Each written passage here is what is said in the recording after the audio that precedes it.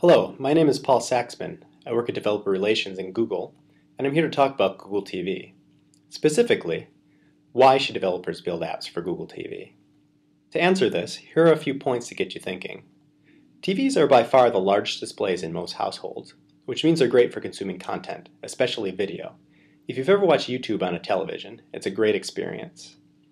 TVs are connected to the best sound systems in most households, so audio apps work great too on Google TV.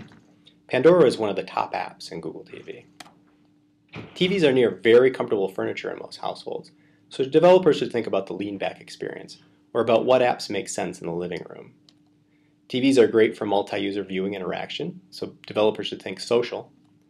TVs are used by over 5 billion people worldwide, on average, Americans watch about five hours of TV daily, which is increasing.